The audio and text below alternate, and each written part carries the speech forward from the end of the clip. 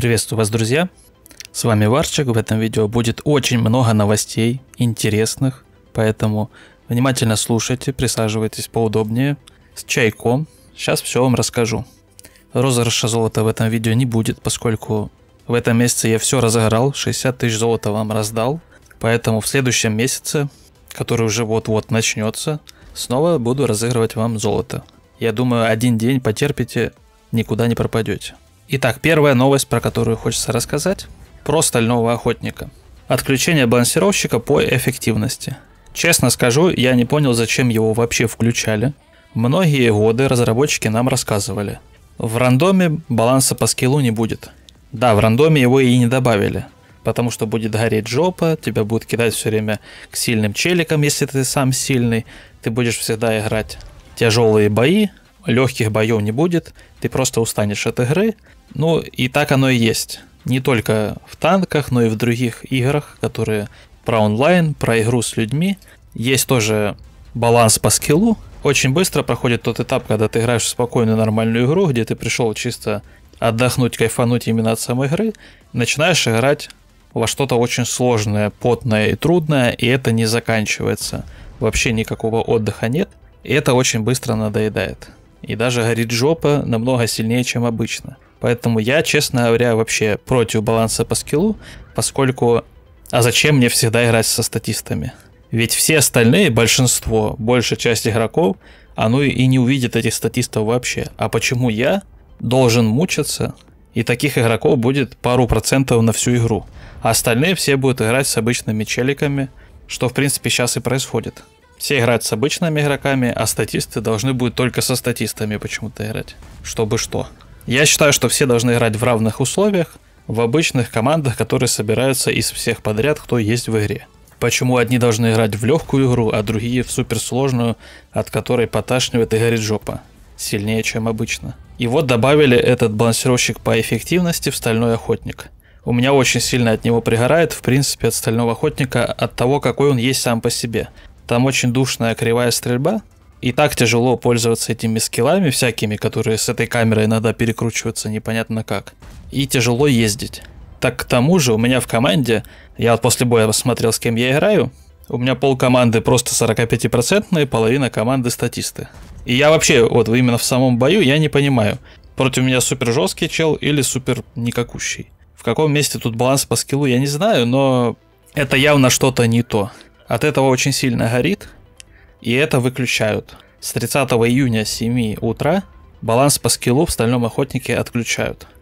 И это правильно, но отключают его, потому что кто-то пользовался им не так, как было задумано. Кто-то использовал ее в неспортивных целях. Также будет запущена проверка аккаунтов, и тех, кто использовал эту механику в неспортивных целях, у них результат обнулят, и они смогут заново его набивать. Но теперь балансировщик будет у всех один, все будут играть со всеми а не как-то там разделяться на игроков получше, игроков не получше. Это все туфта полная.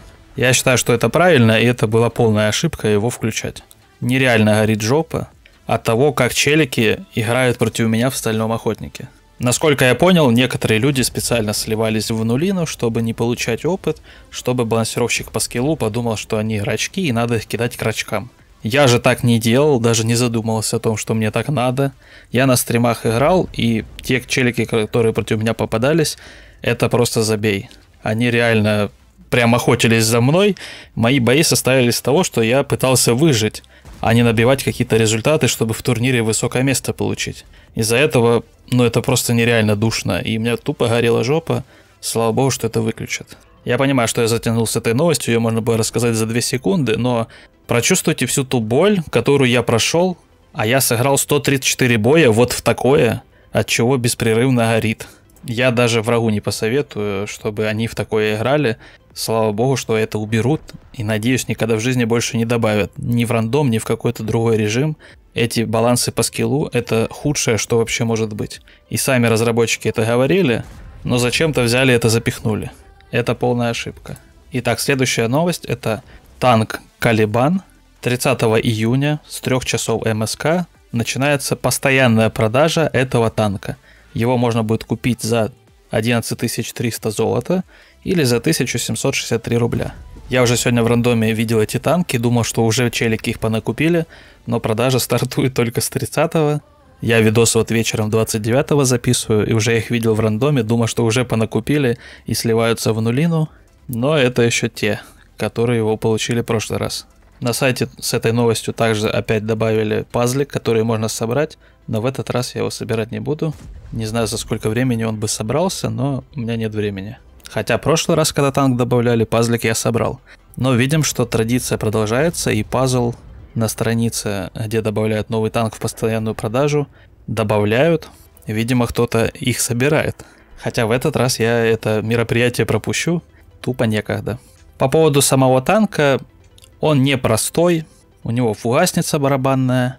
Я не люблю фугасницы, но мне танк в целом не зашел. Да, у него есть УВН и лобовая броня, но в борту броня не очень. Также у него лючок есть, кривущая пушка, но огромная альфа.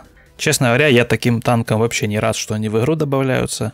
Но я бы не сказал бы, что это супер имба, но в некоторых случаях он может выехать и просто дать два раза по 600, и ты отправишься в ангар. Это, конечно, не очень. Но это не говорит, что танк имба, и на нем легко играть. Наоборот, он очень сложный. Также с 30 июня с 9 часов МСК первый запуск «Осторожно, хрупкая». Опять включает эту аркаду. Можете зайти на сайте посмотреть, что там за изменения, что там будет. Я в это даже заходить не буду, мне лень. Но там есть награды. Можно пофармить кредиты и боны. Можете зайти и пофармить. Можно нафармить аж целых 100 тысяч серебра и 100 бон. Нереально разбогатеете. Все в ваших руках. Также еще в описании добавлю ссылку, где разработчики на одной странице добавили все кнопки, которые надо нажать, чтобы поучаствовать в Стальном Охотнике в турнире Легендарный Охотник. Хорошо, что они додумали, что надо все кнопочки, которые надо пожмякать, засунуть в одну страничку. Потому что в той главной большой новости про легендарного охотника можно заблудиться, и она реально огромная. Из нее открывается еще одна огромная страница, это жуть. Я добавлю эту страницу в описании ссылку, можете пройти по ней и понажимать кнопки, если до сих пор не понажимали. И также не забывайте вступить в мою команду. Мы там даже крупные каналы обгоняем некоторые. Люди, которые в моей команде играют в Стальном Охотнике, реально молодцы, спасибо вам. Вы прям мощные. Итак, теперь поговорим про День независимости Республики Беларусь. В честь этого есть промокод, задачи и розыгрыш призов. Также ссылку в описании добавлю, можете перейти, активировать этот код – там 3 дня према, 2D стиль, декальки, эмблемки, задачи на X5.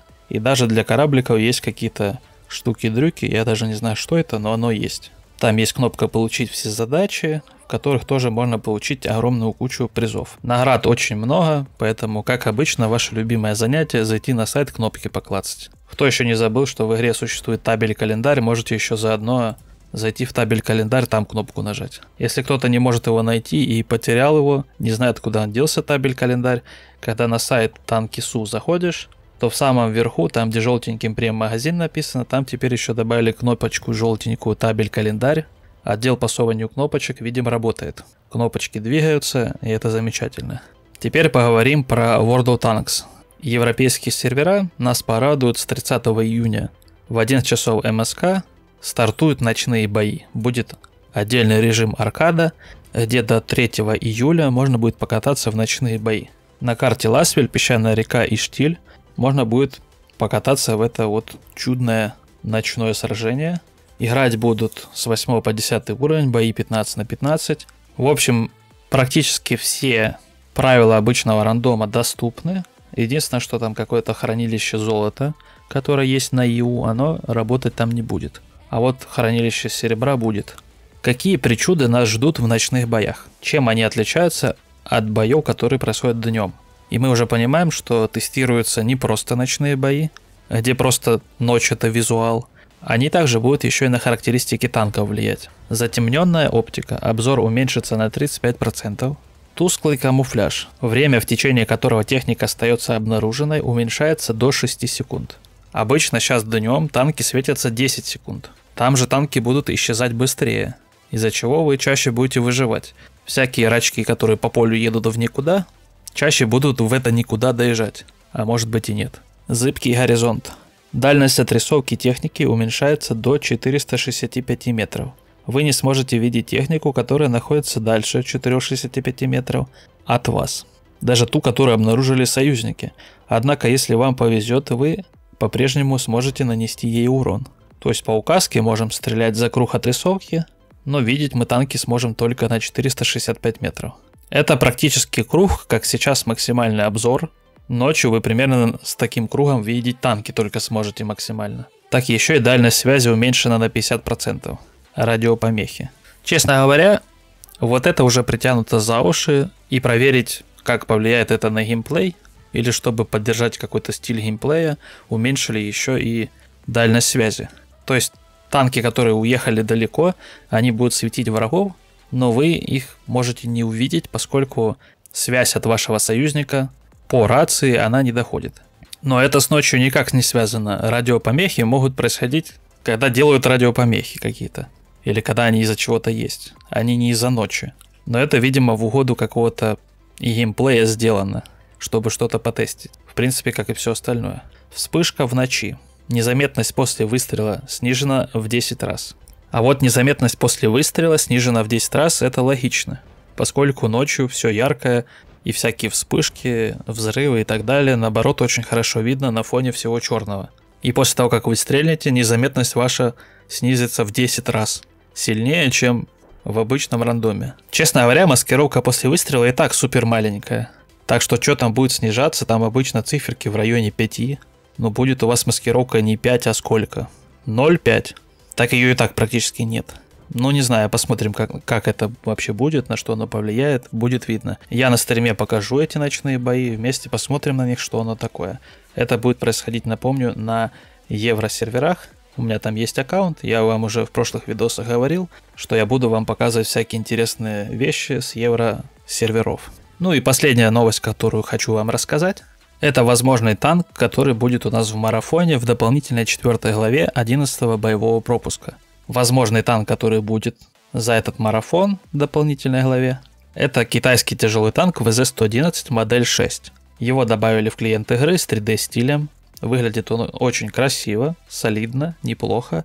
У него очень крепкая бронированная башня. Пробивать ее практически некуда, она супер обалденная. Но корпус, не сказать, что прям супер какой-то бронированный, это обычный корпус от ВЗ-111, который легко пробивается. Максимальная скорость у танка хорошая, удельная мощность плохая.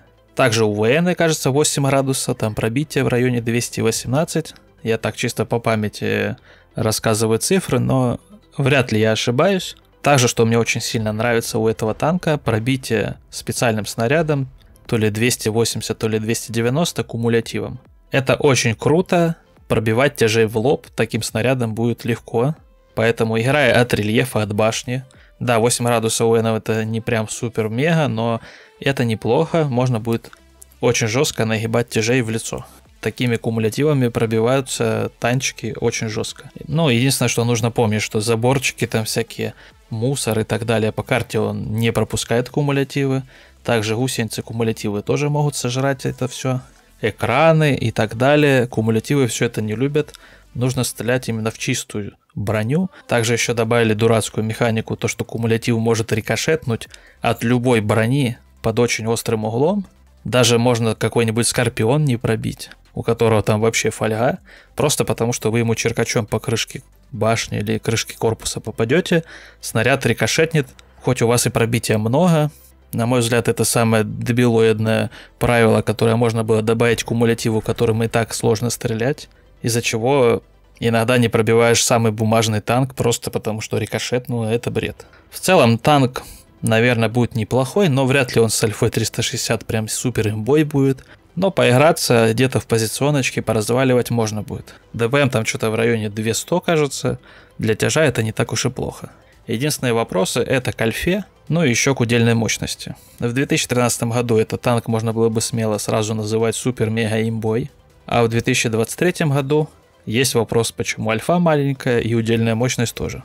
Турбину сюда ставить не захочется, поскольку максималка и так большая, а удельная мощность от турбины плохо будет увеличиваться, потому что она в процентах увеличивается.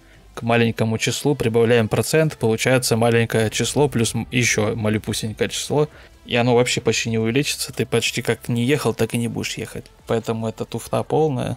Но, на мой взгляд, этот танк неплох. Рандом он не убьет, но от башни, если он где-то станет, только арта поможет. Поскольку башня там просто капец. Там пробивается лючок, буквально 1 миллиметр. Туда будешь попадать только если повезет. Больше там ничего не пробивается, судя по collision модели. Но со временем посмотрим. Может, что-то там и будет пробиваться, но вряд ли очень сложно. Возможно, будет не этот танк, но, скорее всего, он. Я думаю, что британский колесник будет осенью или в конце лета, а вот этот танчик будет у нас в этом марафоне. Либо же будет британский СТ колесный, но тогда зачем этот танк добавили, он уже готов, еще и с 3D стилем. Я думаю, будет он. Его можно будет бесплатно получить, пройдя основную линию боевого пропуска, а за донатную за 2500 золота, если купить дополнительную линию с наградами, там можно будет получить этот красивый 3D стиль. В принципе, это все новости. Надеюсь, вам было интересно. Некоторые вещи я рассказал более развернуто и высказал свое мнение, передал свои эмоции насчет некоторых вопросов, которые меня очень сильно задевают в этой игре. Это, конечно, не совсем новостной ролик, это больше новости плюс мое мнение. Но я считаю, что я должен в видео вкладывать себя, а не просто зачитывать вам новости в ряд без своих мыслей и своего мнения, поскольку это все-таки мой канал, поэтому я считаю, что так лучше. Пишите свое мнение в комментариях. С вами был Варчик. Играть красиво. Подписывайтесь обязательно. Вступайте в мою команду в Стальном Охотнике. Всем удачи. Пока.